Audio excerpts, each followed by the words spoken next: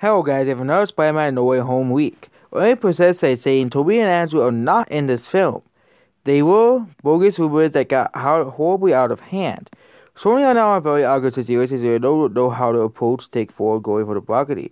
Hence the trailer they play. You will not see them in the final product. Screen cap this. Well literally every this is like this is like the rare week that says that Tobey Maguire and Andrew are not in the film. We already know that characters from previous from the older Spider-Man movies out from the beginning. It makes especially Doc Ock. Uh, uh, he has been basically beginning confirmed for this movie.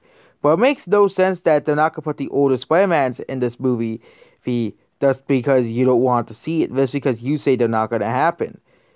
They they have basically said that they're, that they're likely gonna be in. We don't know for sure. Again, this is this hasn't been again. Nothing has been really confirmed about the movie outside of leaks of rumors and insider information. But most of the insiders are saying there are other Spider-Mans in this movie. The and this movie is about the multiverse. So that's basically about this video. Goodbye.